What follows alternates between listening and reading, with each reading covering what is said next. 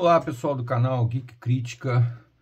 Vocês sabem muito bem que o objetivo do nosso canal é compartilhar, é democratizar edições mais raras, edições mais caras, né? E edições que às vezes que não estão no, no, na previsão de compra dos colecionadores, porque faz, não, não, não estão no hall né, da Panini, basicamente, que é a nossa editora principal de compra de quadrinhos. Né? A editora Panini atende ao mercado nacional da melhor maneira possível, sempre elogio o trabalho da Panini. Lógico que tem erros, como todos nós temos erros, eu provavelmente aqui no canal vou cometer erros, já cometi erros, mas acho o trabalho da Panini muito bom. Mas antes de falar do que eu vou falar hoje aqui, que é uma coisa meio diferente, eu vou pedir a vocês para se inscreverem no canal e para deixar seu like. Além disso, se possível, compartilhe com seus amigos geeks, nerds, assemelhados, simpatizantes, enfim. Tá? Então não esquece, se inscreve no canal para me ajudar aí, é, deixa o like e compartilha o canal Geek Crítica. Hoje eu vou mostrar uma coisa meio diferente que eu tenho mostrado aqui no canal.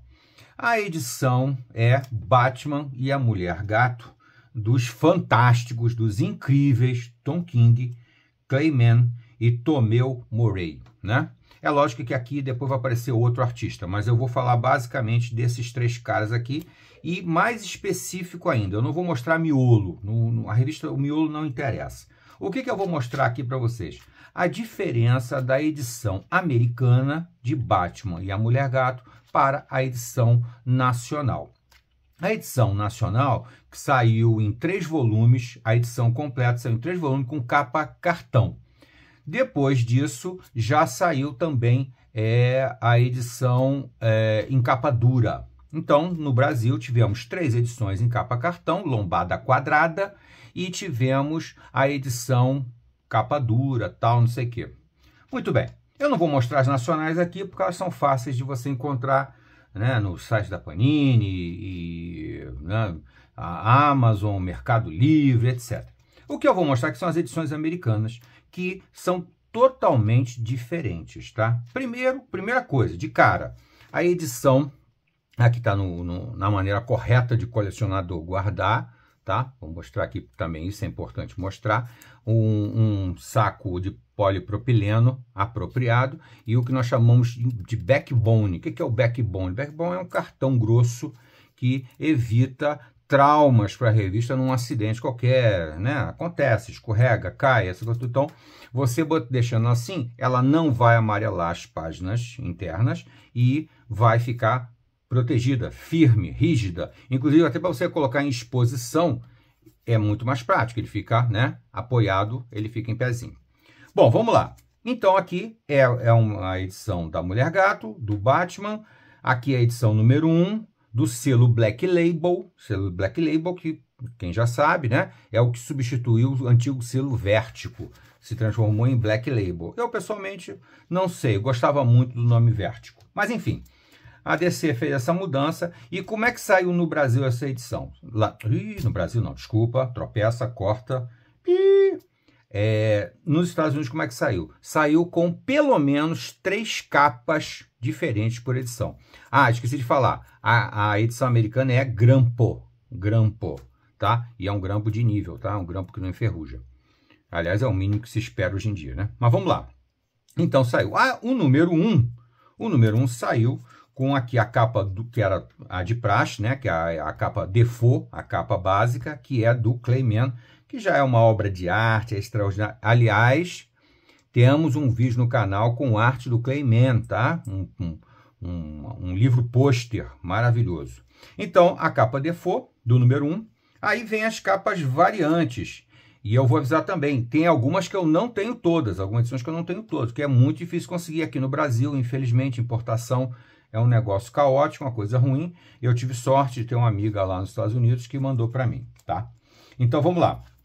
Aqui o número 1 um, com capa do nosso querido Jim Lee, que também tem álbuns, aqui tem mais de um vídeo sobre falando do Jim Lee. Aqui é a capa do Jim Lee em preto e branco, né? Com o logo Batman e Catwoman foi retirado para deixar o máximo da imagem aparecendo, fica apenas o nome registrado aqui, que é o número 1. Vamos virando assim para ficar sabendo o que eu estou fazendo. Aí aqui, então, a capa variante número 1 do Jim Lee e do Scott Williams, claro, quando se fala em Lee, Jim Lee se fala Scott Williams, quando se fala em Batman se fala em Robin, então não tem muito jeito. Muito lá, vamos lá. Aqui ainda o número 1, tá? Com a capa do David Finch, que eu não tive muita chance de mostrar coisas aqui no canal, mas é um artista extraordinário, um artista muito forte do Batman, né? Fez, fez miolo também, mas fez muita capa para o Batman. Então aqui é a capa do número 1 um, feita pelo David Finch. Sinceramente, não sei escolher qual a mais bonita, são todas extraordinárias. Outra capa, ainda do número 1, um, tá? E também desenhada pelo Jim Lee. Então nós tínhamos uma capa em preto e branco e aqui uma capa colorida feita pelo Jim Lee. Ela é até chamada de cover B. Né? Eu não sei se eu tenho todas elas com etiqueta, não tenho. Isso é da própria loja, é, comprado lá na Midtown Comics. Aliás, fica a dica, uma, uma loja incrível, maravilhosa lá nos Estados Unidos. Dia que eu for lá, vou visitar a Midtown Comics. Então aqui a capa feita, outra capa feita pelo Jim Lee para o número 1. Aqui a número 1 com capa. Epa, agora eu vou tropeçar. Ah, tá, sim, sim, claro. Travis Charest. Travis Charest é um grande artista que desenhou Wildcats, na melhor fase de Wildcats. Tá aqui a capa do Travis Charest. Tá certo? Muito bem. Vamos aqui agora para o número 2. Vou até inverter aqui porque eu boto ao contrário. Vamos tirar aqui Vamos aqui a capa do número 2. Aqui a capa default, que é do Clayman. Excelente capa, uma capa muito bonita. É um grande artista o Clayman, adoro o trabalho dele. Tá? Aqui a capa do nosso querido Jim Lee. A capa do, da segunda edição do Jim Lee. Se eu não me engano, a Panini publicou essas capas no final da edição se não foi na de capa cartão, foi na de capa dura, tá? Eu não tenho certeza aqui, não vou fazer essa, essa maldade com a Panini. Ela publicou, se não todas as capas, a maior parte delas. Agora aqui já vamos para... Você vê que aqui tem... Mas realmente, depois eles mantiveram o padrão de três capas, sendo uma do Clayman, uma do Travis Charest e uma do Jim Lee. Eu sei que eu tenho as capas do, do Clayman e do Jim Lee. Do Travis Chester, eu acho que as capas não foram tão felizes e como infelizmente a importação é uma coisa complicada e é muito cara, eu optei por ficar só com as capas do Clayman, que é o caso aqui da edição número 3, é o Clayman, uma capa belíssima, né, um estilo que já um estilo de capa, né, que já, já foi bastante utilizado, inclusive pelo Homem de Ferro, né, por artistas que fizeram Homem de Ferro, de botar na lâmina da mão do, do vilão aqui a Mulher Gato. Muito legal. Aqui, ainda o volume 3, aqui a capa do Jim Lee. Aquela capa bem estilo Jim Lee, né? Muito bacana mesmo, ótima. São, são artistas que desenham qualquer coisa bem. Né? Aqui a capa do Travis Sherrist. No volume 3 eu tenho aqui a capa do Travis Sherrist. Vamos aqui ao volume 4. Esse aqui já é o 5, né? Volume 4, que já é o 5. Hum, hum, hum, hum, é o 5. Aqui são as três capas. Nesse aqui já é o volume 5 também. Vamos lá. Do volume 4, eu só tenho duas capas.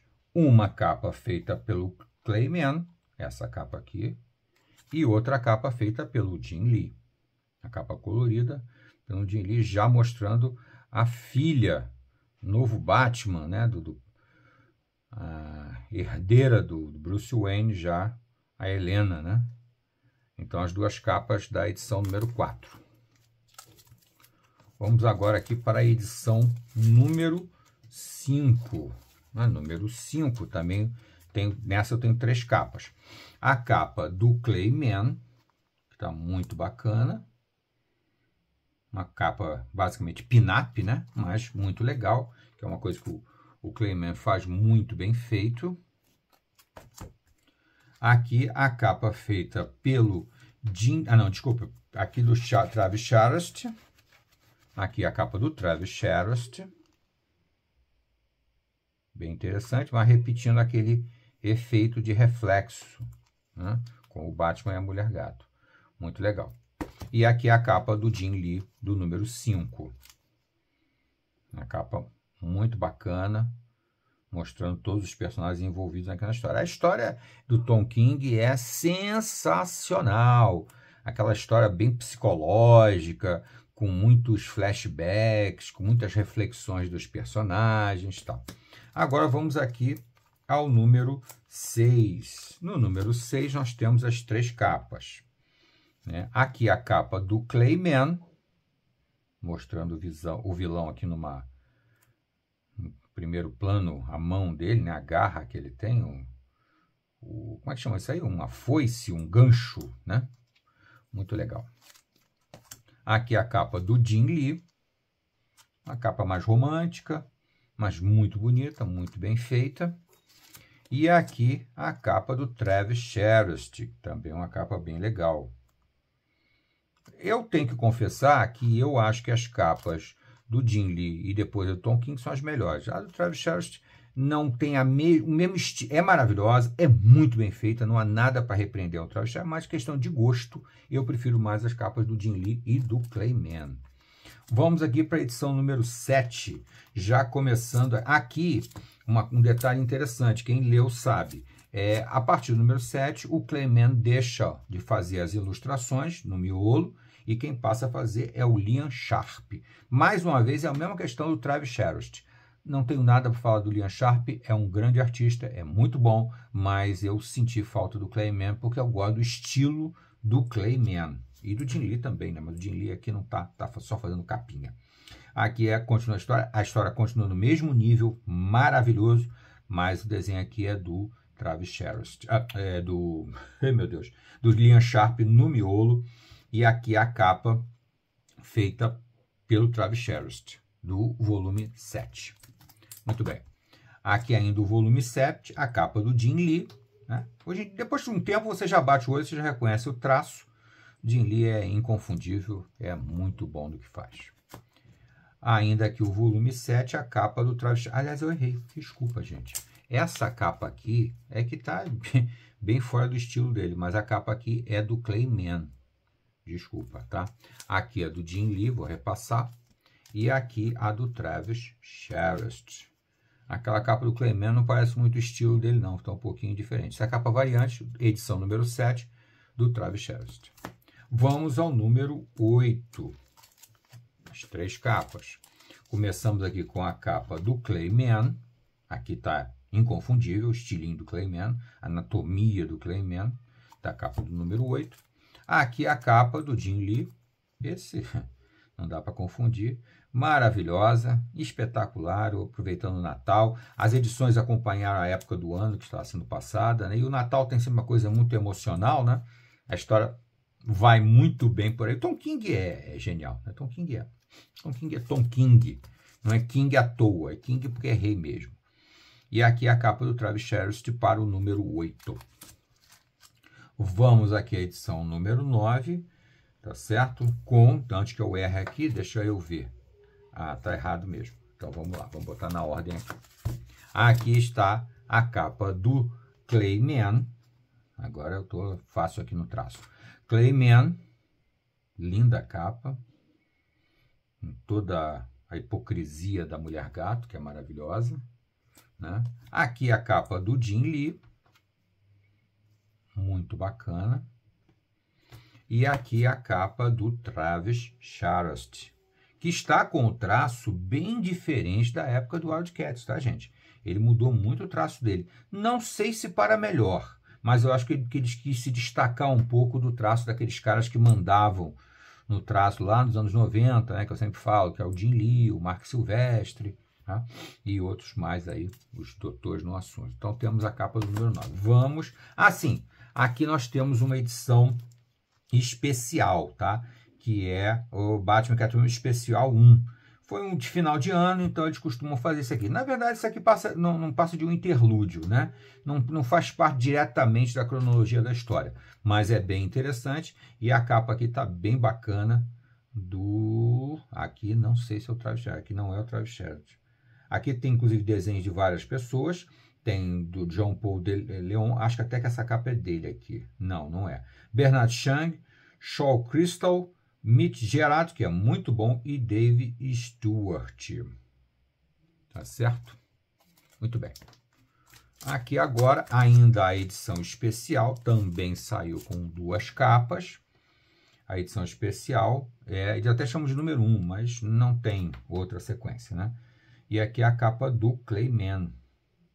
Não, não, desculpa, desculpa. É do Jean-Paul de Leon. Desculpa, é do Jean-Paul de Leon. Aqui está com um estilo muito parecido mas o Jean Paul de Leon. Estou vendo a assinatura aqui.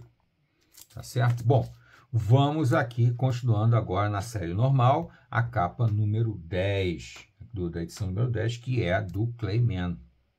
E aqui o Clayman volta a desenhar. Na edição, nessa edição especial, vários fazem suas participações aqui.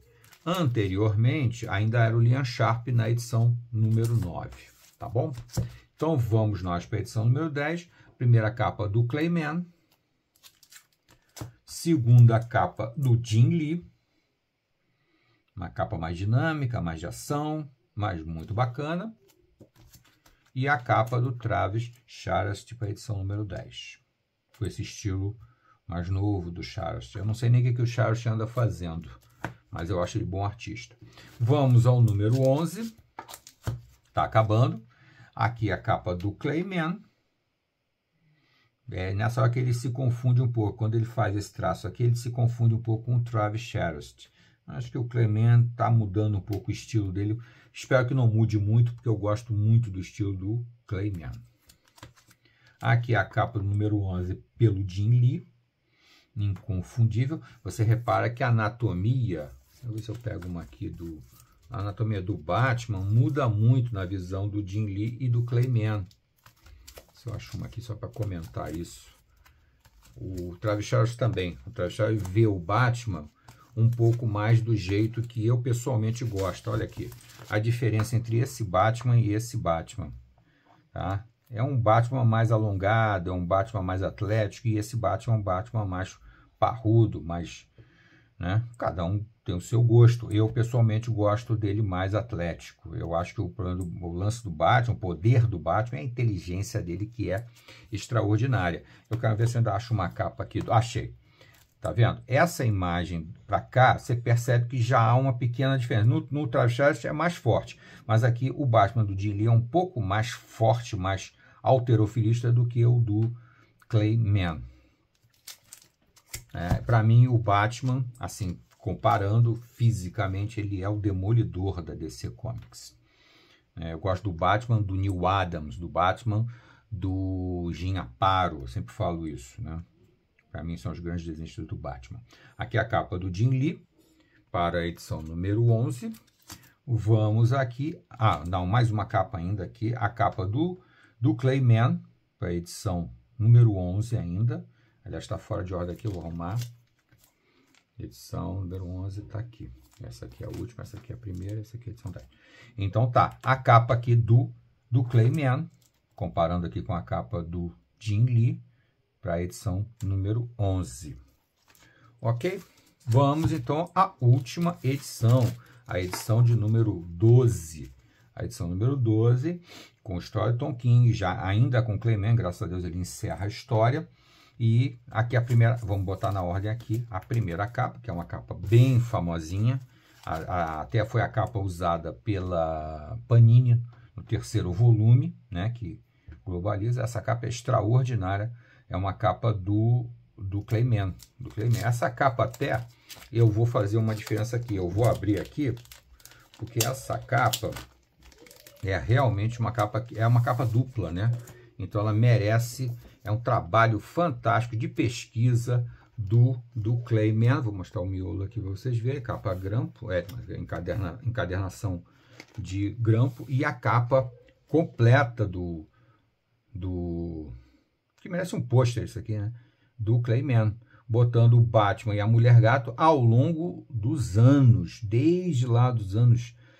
Nem sei se tem Batman, deixa eu ver se tem Batman dos anos 50 aqui, não, acho que não, mas aqui dos anos 60 em diante tem diversos uniformes do Batman e diversos uniformes da Mulher Gato no traço fantástico do do Clement. É lógico que a Panini pode até ter publicado essa capa, mas ela ficou um pouco prejudicada no, na edição da Panini. Né? As edições nacionais são o que é possível fazer, né? não é exatamente o que a Panini gostaria de fazer, é o que é possível. Então aqui está o final da história, que é um final muito bom, muito surpreendente, muito mistério, muito suspense, muito raciocínio, uma história fabulosa do Tom King. Aliás, o Tom King está abençoado pelos deuses.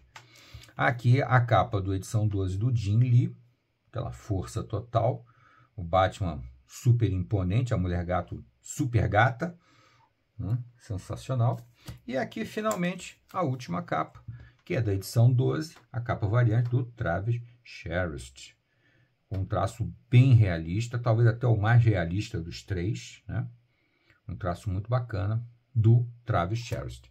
Então, gente, está aqui uma amostra do trabalho que a DC Comics fez para Batman e a Mulher Gato. É uma pilha, tá vendo, gente? É uma pilha. Mas colecionador adora isso, né? Ainda é, ainda é melhor de manusear do que a Omnibus, né? Eu, pessoalmente, detesto Omnibus. Mas vamos lá. Então tá essa pilha aqui mostrada para vocês. Uma coisa difícil de ter aqui no Brasil, acredito que só colecionadores devem conseguir isso, pessoas que têm acesso ao mercado americano, porque diferente dos anos 90, que a gente tinha pilhas de material americano aqui, pela Devir, a Devir trazia pilhas de material americano, a gente comprava tudo de material americano por um preço bem acessível. Agora nós não temos mais isso, nem a Amazon não traz edições normais, mensais, não traz, só os encadernados. Fica para vocês aí compartilhado democraticamente para todo mundo ter oportunidade de ver. Para eu continuar fazendo isso, gente, ajuda o canal, se inscreve no canal, deixa seu like e compartilha com os amigos. Tá bom? Até logo!